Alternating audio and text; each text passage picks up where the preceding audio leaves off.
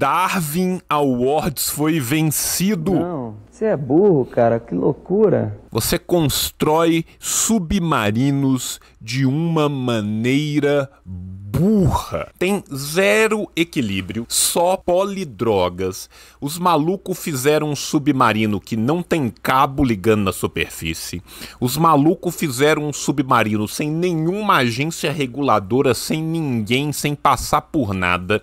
Os malucos me fizeram um submarino, tem um único botão que aperta para subir. O submarino do Iberê é muito, muito, muito melhor. O bagulho tem um só botão, o GPS não funciona e ele é controlado por um joystick caseiro. O cara que fez esse submarino é ou o pior engenheiro do mundo ou um herói da classe trabalhadora atacando o bilionário.